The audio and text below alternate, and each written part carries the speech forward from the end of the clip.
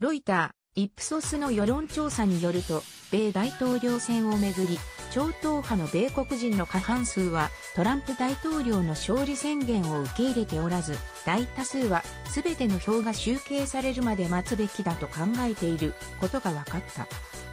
調査は4、5日に実施。それによると、共和党候補であるトランプ氏の勝利宣言を受け入れるとした回答割合は16%だった。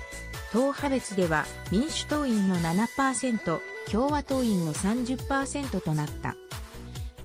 その他の84%、民主党員の93%、共和党員の70%は、各候補は、すべての票が集計されるまで、勝利宣言をすべきではないと回答した。また、米国人の3分の2は、地元の選挙当局が誠実に職務をこなしていると信頼しているとした。調査は全米でオンラインを通じ英語で行われた。民主党員524人、共和党員417人を含め、米国の成人選115人から回答を得た。信頼区間、許容誤差は約6%ポイント。